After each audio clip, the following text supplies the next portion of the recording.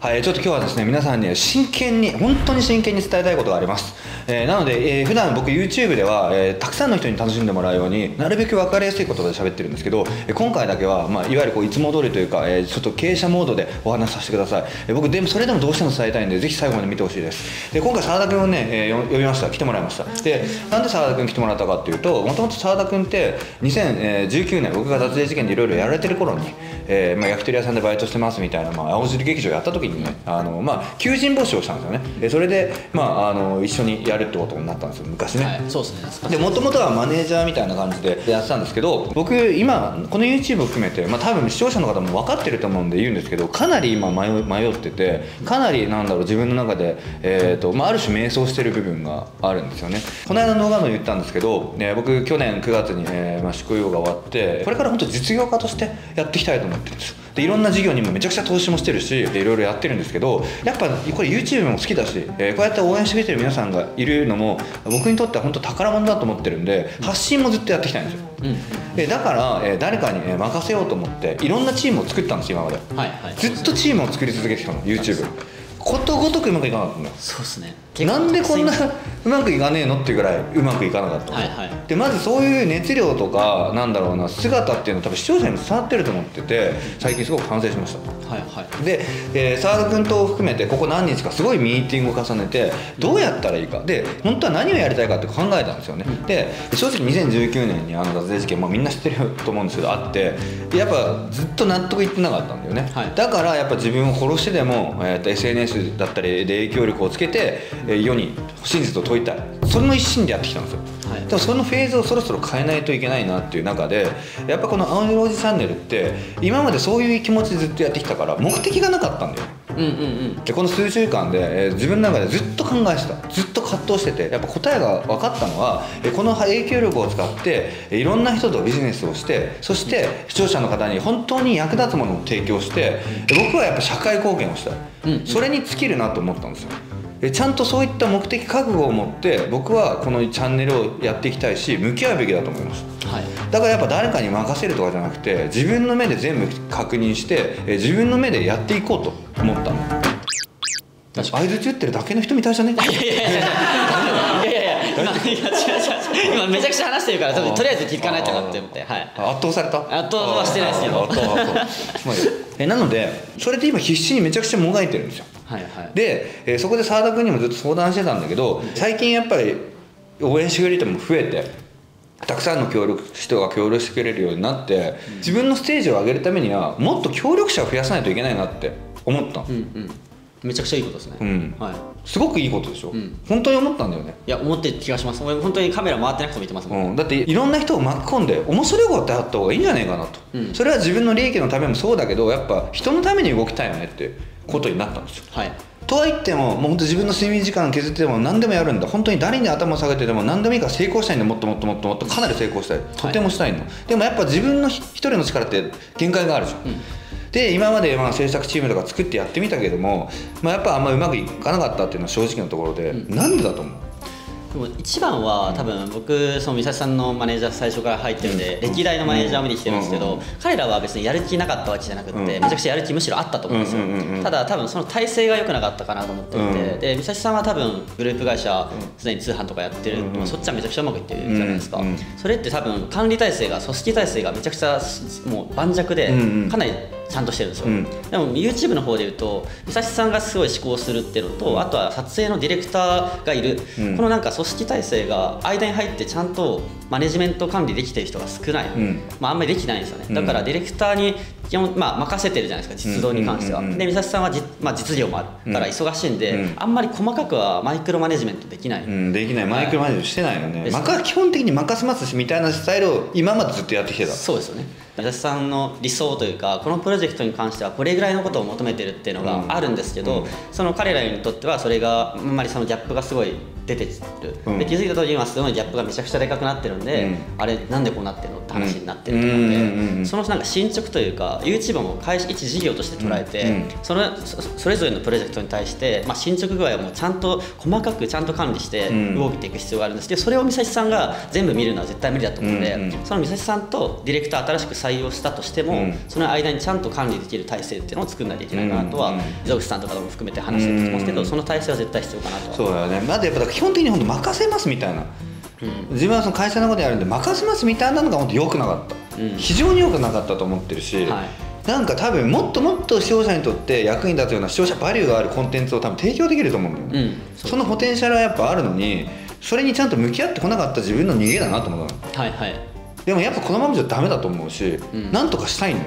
今までいろんな会社本当にたくさんの会社作ってバーッととかしてきて、もう完全に任せるようで結構うまくいってきたのね、うん。えよく言われるのがもう美咲さんと一緒にやってすごく裁量権を与えてもらって、はいはい。もう自由にできてすごいやりやすいですってことをめちゃくちゃ言われるの。確かに結構みんな言うじゃん。そうですね。僕もそうだった。そう。で本当に任せるから。それが会社においてはそれでいいと思うんだやっぱ自由夢も与えられるし、成長もするし。でもかといってじゃあ自分のマネジメントに関して任せるはやっぱ違ったと。その判断意思決定からすごい間違ってたんだなと思う、うんうん。だから今やっぱり改めてえー仲間を募集していきたいしこれから澤田君とかも手伝ってもらって、えーよりえー視聴者にとってニーズがあってコンテンツ視聴者のバリューがあるコンテンツを出していきたいんだけど、えー実際じゃあこれから未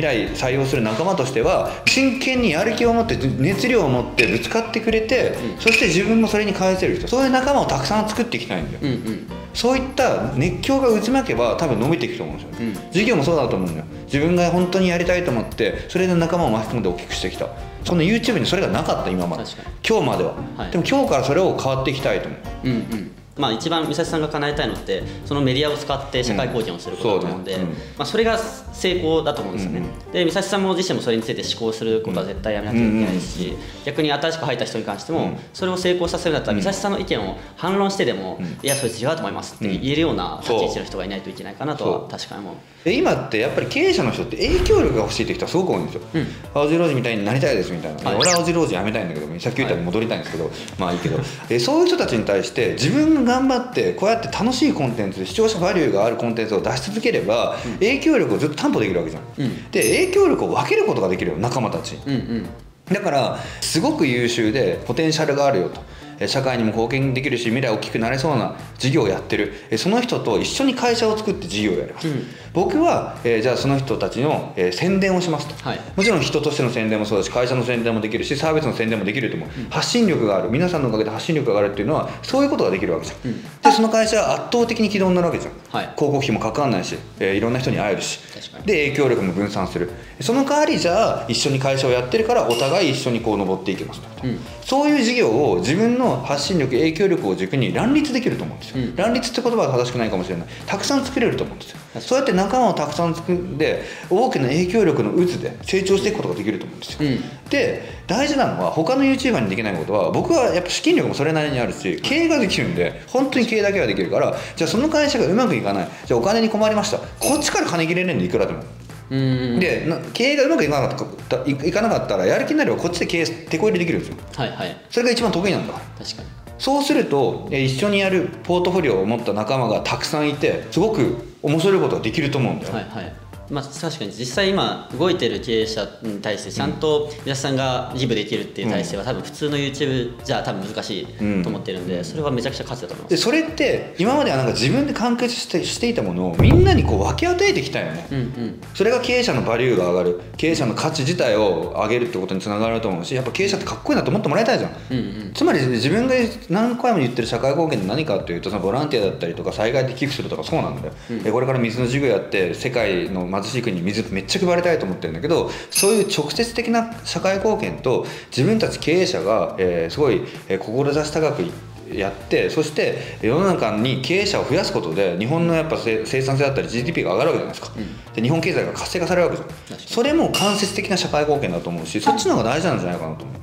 ちゃくちゃ。でも考え方絶対違いますよね。去年一昨日年ぐらい、うん、全然違う。確かにだから今までは自分が本当良くなかったのは YouTube のスタッフを集めますみたいな、うん。そういうなんか軽いノリで集めてたそれを見られても仕方なかったと思うんだけど、えー今回からは改めてえーそういうそういうんじゃなくてもう別に YouTube の知識だったりとか別に編集の知識なんていらないんだ、それよりもどうやって視聴者にとって本当に究極に徹底したえー熱量の高い視聴者が求めるようなバリューのあるコンテンツを出せるか、そしてえーこの YouTube っていう大きなプラットフォームを使ってこのチャンネルを使ってえー社会に貢献できるような事業を一緒に作れるか、それを死ぬ気で考えて、えー死ぬ気で遂行できるような仲間が欲しいんだよね、で澤田君に今回来てもらったのは、えーちょっと澤田君とも話して負担かけちゃって申し訳ないんだけどやっぱり今まで自分がこう集めて本当にたくさんの応募が来ます正直本当ありがたいんですけど、正直ねもう見る目がないのかもしれない正直。あの それは本当見る目ないんだかもしれないけどでやっぱねいいこと言ってくんだよね、うん。すごいファンですとかめっちゃ動画見てますって言われたら俺も人間だからそうかなっちゃうんだよ。それで弱いとこなんですよ。バカなとこなんですよ、えーだから、まあ、それでやっぱじゃあ一緒にやろうかってなって結局自分が求めてるこう理想と現実が全然違くて、うえーうまくいかないってことが本当このチャンネルはずっとありました、だから、えー今回から、まあ、見てもらいたいの。澤田君やっぱ僕のこともある程度知ってると思うし、はい。まあ、これまでね、まあ、長い付き合いなんでどういう人材がここにいれば夢が一緒に叶えられるかって分かってると思うんで澤、田君にちょっと面接を面接。してもらいたいと思うんです。了解です。で詳しいことは概要欄に貼っておきますんで、そこで応募していただきたいなと思うんですけど、どういう人材がやっぱいいといいと思いますか客観的に。まあ、でも今喋っていた美咲さんが喋っている、まあ、世界観というか、目指す方向性にそもそも共感してるかどうかってうんいうのがめちゃくちゃ大事かなと思ってると、あとはフルコミットできるかどうか、うんうんうん。本当にそれのビジョンに共感してるんであれば、うん。多分当然そこに対して時間を投下するでしょうし、うん。量を多分割くと思うんですよね、うんうんうん。であと単純にこれ YouTube の運営に携わってほしいっていうくくりじゃなくって、うん。この事業というかプロジェクトに賛同してもらう必要性があるので、うんうんうん。結構 YouTube の運営っていうよりかはこのプロジェクトいろんな複数のプロジェクトが動くと思うんですよ。美咲さん直下で、はい、なんで、まあ、美咲さんは右腕になるぐらいのうん。意思があって、うん。えー、とマルチタスクができて、うん。あのプロジェクトの進行ができる、うん。まあ、なんならチームの管理ができうん。るぐらいのレベルの高いハイレイヤーの人を募集したいなと思ってます、うん。はい。で今編集チーム自体は、えーはい。まだあの会社の方で持ってます。あの、はい。ずっと頑張ってくれてるチームがあるんで、編集をやってくれとかそういう話じゃないんですよ。うんうん。えそれよりもめちゃくちゃスピード感僕速いんで、うん。え今日言ってもう明日どころか今日でできるぐらいのことをずっとやって成功してきたんでそれについてこないと話にならないしえかなり要求するレベルは高いと思うんですけど、えその先には絶対明るい未来も待ってると思うし多分本当に誰も成し遂げてないようなことを今やろうと思ってます。はい。マジで今成功したいってもっともっと成功したいなっていう欲がすごく強くてその反面悔しいっていう思いも強くて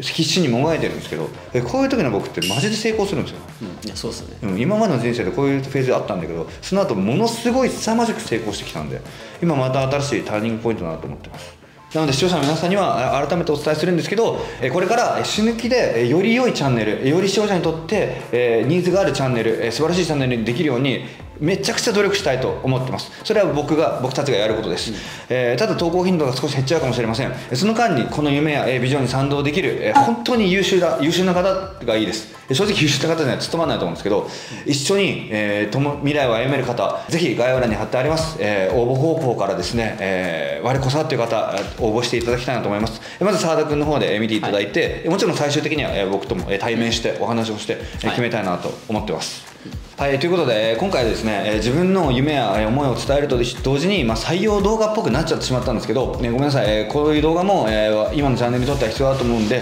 えこういった動画を投稿させてください、え最後まで見てくれてありがとうございました。引き続きこれからもよろしくお願いします。